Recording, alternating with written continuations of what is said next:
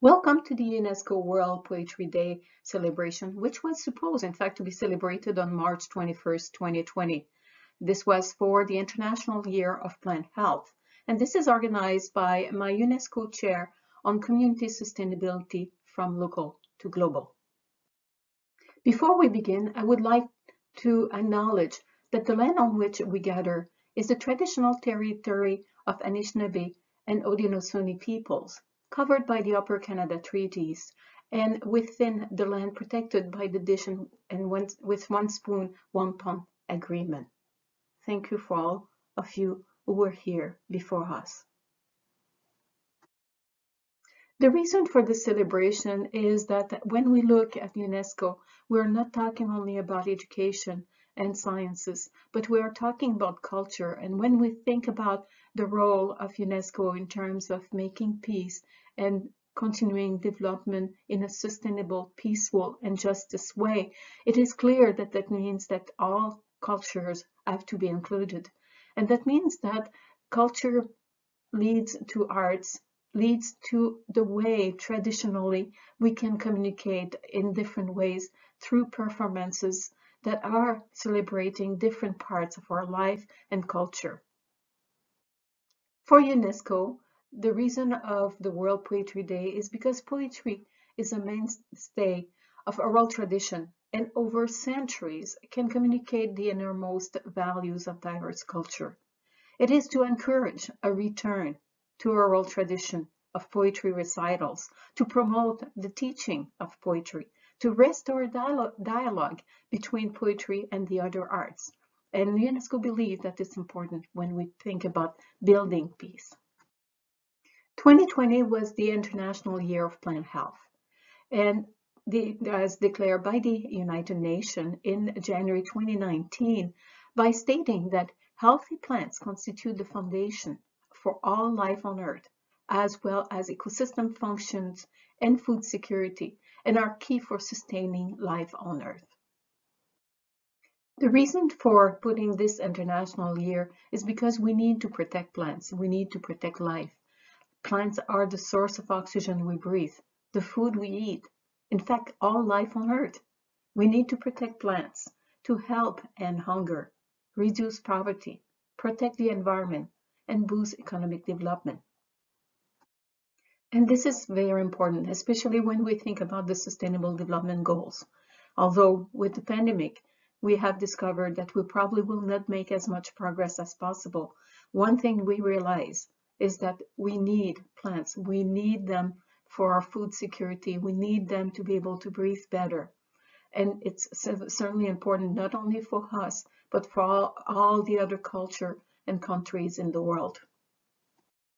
Now it's time to celebrate the winners of the International Year of Plant Health 2020. Now, our first winner, notre premier, le premier gagnant est euh, en français Un monde ouvert par Alexander Emmett Yap. C'est dans la catégorie étudiant universitaire. Je vous le présente. Bonjour, je m'appelle Alexander Yap et je suis un étudiant à Brock. J'étudie l'éducation avec un major en mathématiques et un mineur en français. Je suis aussi un tuteur à Brock.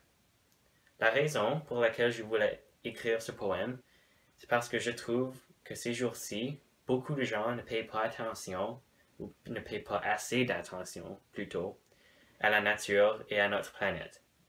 Je voulais faire un poème qui adressait des choses que je trouve sont très importantes dans notre monde. Maintenant pour le poème.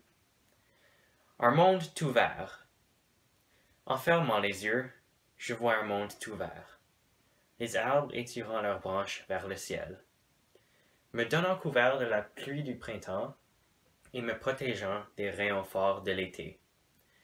Je cligne des yeux, les couleurs commencent à changer. Les feuilles qui tombent me laissent enchanté. L'hiver arrive et je vois la neige, laissant des squelettes de bois tout glacés. Je ne me souviens pas quand tout a changé, les bourgeons si jeunes qui ne fleurissent plus, l'ombre des arbres qui ne confortent guère, l'air qui me coûte de plus en plus cher. Dis-moi mon petit, si doux comme le miel, ne verras-tu jamais une belle petite abeille? N'entendras-tu jamais le chant des oiseaux? Saurais-tu même la joie de planter une fleur? En ouvrant les yeux, je me sens soulagé. Il nous reste encore du temps, mes frères et mes sœurs. Il ne prend qu'un effort de toi et de moi. Un monde tout ouvert, c'est ce que j'aboie. Merci pour avoir écouté à mon poème et merci pour m'avoir laissé partager avec vous. J'espère que je vous ai inspiré. Merci, Alexander. Now I would like to present from the secondary school students category, Terra from Elizabeth Grace to Maino. Hello, I'm Elizabeth Tomeno. Um, I'm a student at Blessed Trinity Catholic Secondary School and I'm in my fourth year there. Um, and I've written a poem for the Brock Sustainability Poetry Contest. So my poem is called Terra and it's a reflection on the negative impacts of climate change um, and the effect uh, that humans have had on the world. Um, but it's also a reflection on the beautiful things that are unique to Mother Earth. And it also discusses how humans have failed to realize um, their duty to uh, help fix the earth and that it's our mission now that we've done our damage, but we now have to clean up what we've done. So, um, here's my poem, Terra.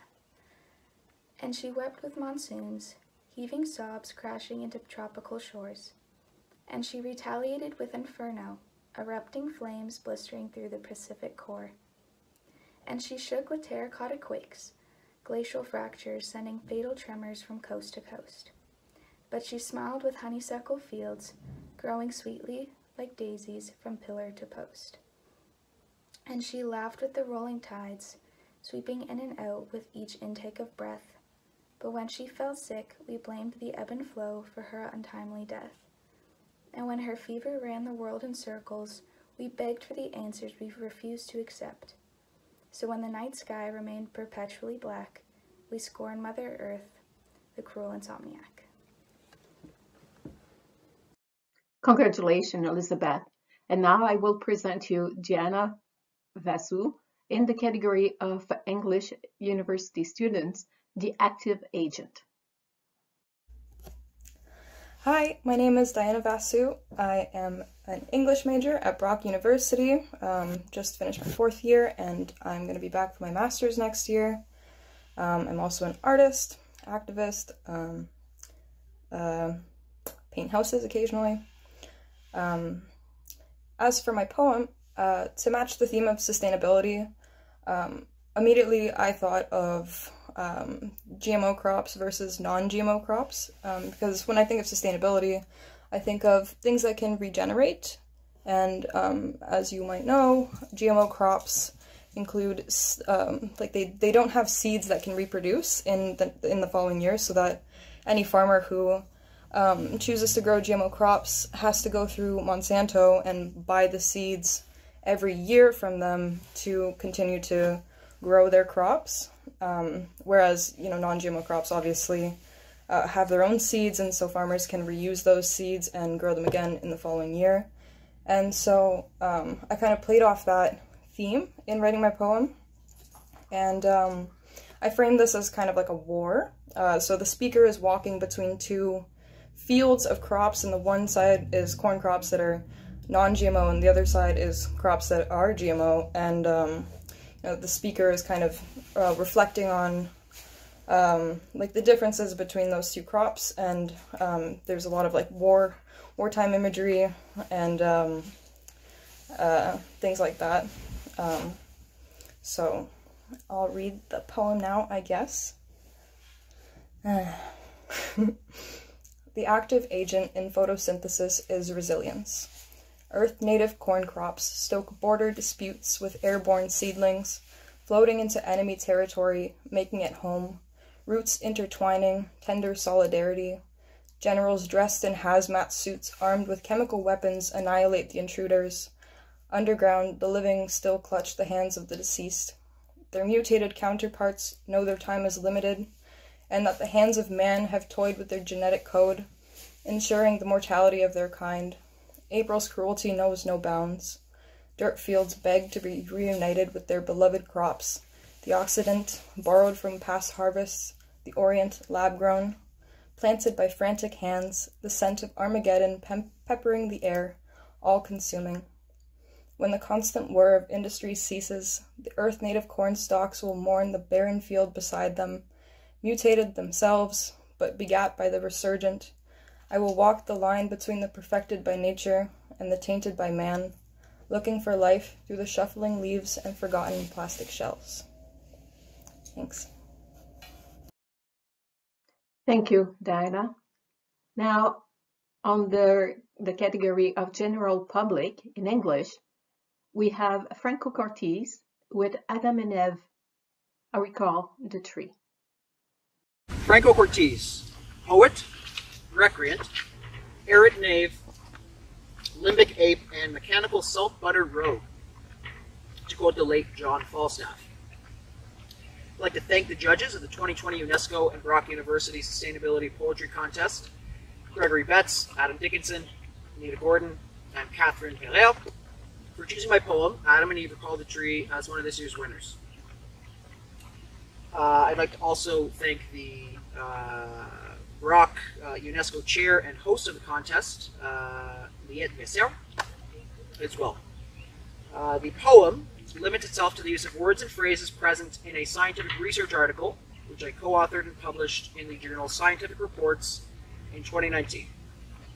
Science is a polynomial and pluripotent thing on the one hand, the primordial source of modern progress and the mostly upward trajectory of improvements in quality of life and our capacity for self-determination.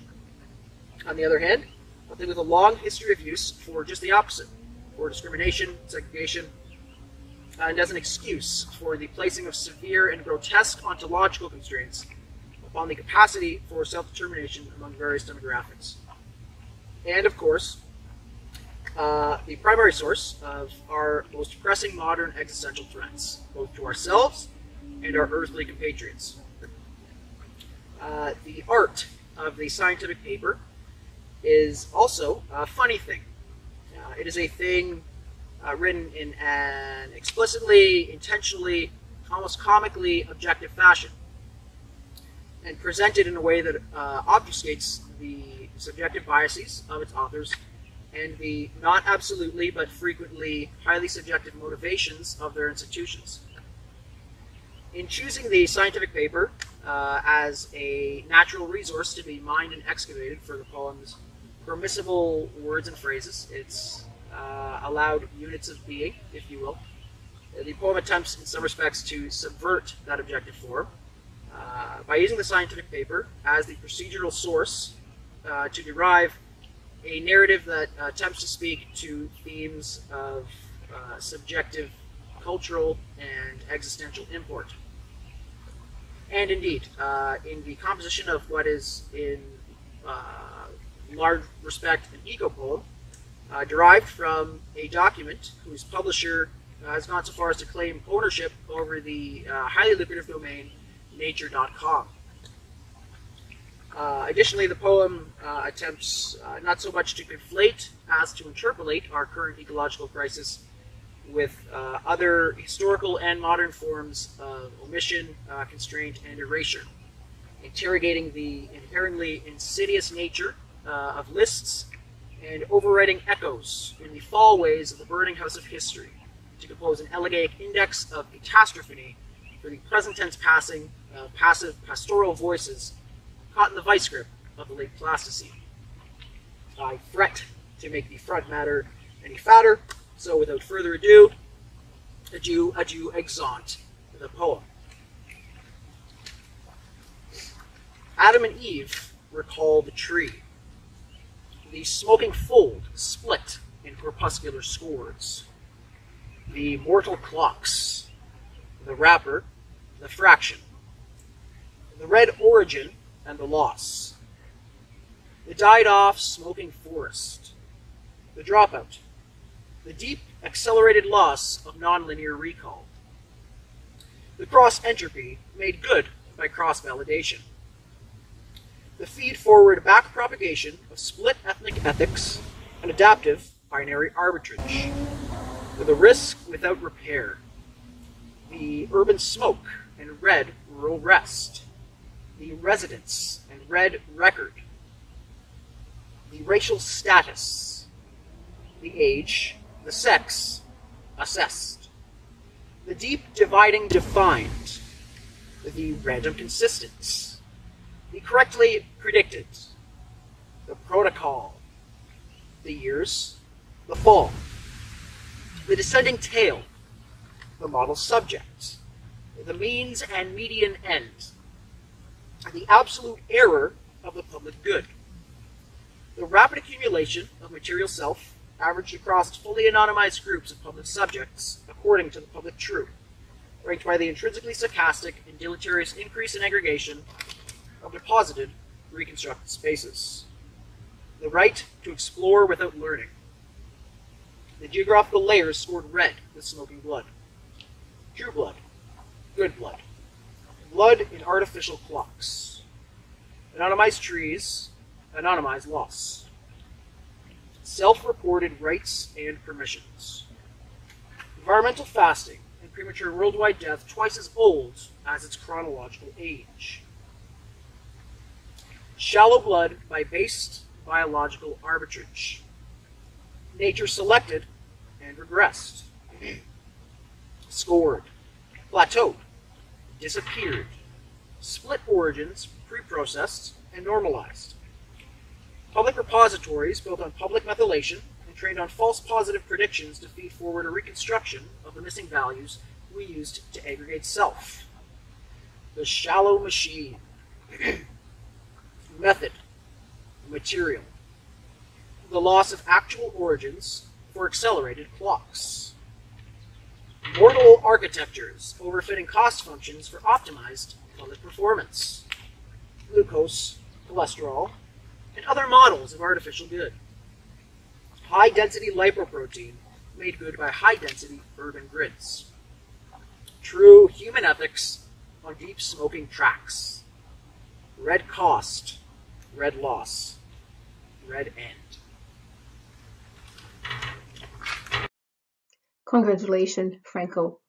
Now it's my pleasure to present two of our judges and wonderful poets that will give you some of their selected poems. This is Catherine Parayre and Adam Dickinson from Brock University. My name is Adam Dickinson. I'm a poet and professor in the English department at Brock University, and I was one of the judges for this year's Sustainable Poetry Contest. The theme this year was plants. My poem, which I'll share with you, is a response to plants. It is a response, I suppose, that comes from a slightly different perspective. I suffer from seasonal allergies, as many people do. And so I wrote about the pollen from one of the trees that uh, I'm allergic to, birch trees. In order to write my poem, I took Robert Frost's famous poem Birches, and I ran it through a translation program um, into several different languages, all of them associated with countries in the Northern Hemisphere where birches are quite common. So English, French, uh, Irish, Norwegian, Swedish, Finnish, Russian, Mongolian, Chinese, and Japanese, to name just a few. And then with the resulting text, I produced a new poem, peeling it back, so to speak, peeling the bark back to produce the poem. So I'll share it with you now. This poem is called Oral Allergy Syndrome. Grow and get lost. These stacked bottles think inside the sky. Mocking spells like a forest without a road turned automatically to the pure white birch wing. Les palmiers meurent. Sur la côte, on injecte du benzoate à la base des palmiers, chez eux, mourants. Ils sèchent, piqués par les papillons et les charançons. Sans palmiers, un jardin a trois côtés. Du laurier rose, la vénéneuse orangerie qui poudre la lisière des rues quadrillées par le soleil. Un eucalyptus, l'arbre pensif gorgé d'eau et qui regorge de couleurs persistantes de tendresse. un faux poivrier pour ses pépites rosées et sa nostalgie éblouie des sols pleureurs. Des figues, le sept de chaque mois, cet éclatement, cet éclaboussement de rire, Soliès tout proche et leur village. Des un peu de coussou aux rêves de pistache, un souvenir de garrigue, quelques pierres pour marquer le pas, des bougainvillées, plus belles que la magie des pervenches, frondaisons fleuries de l'immobilité, singulière tiédeur des mots de l'été de la glycine pour le sud des soirées mauves et tristes, le monde se remplit de hystéria et se dissipe. Avec un peu de courage, un mûrier, un seul, blanc ou noir, et toujours noir, qui explose sur les trottoirs tigrés. Grow and get lost. These stacked bottles think inside the sky. Mocking spells like a forest without a road turned automatically to the pure white birchwing. Thank you again, Adam and Catherine. And in fact, thank you to all our judges, Gregory, Adam, Neta, and Catherine. I greatly appreciate your help and support in preparing this uh, event. And uh, without having you, it will be probably very, very difficult. So I greatly appreciate what you have been doing.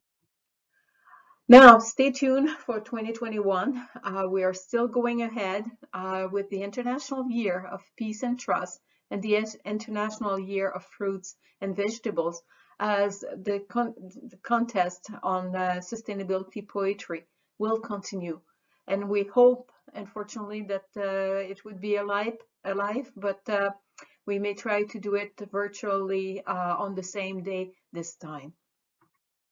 Thank you Merci chi Miigwech and congratulations again to all our winners.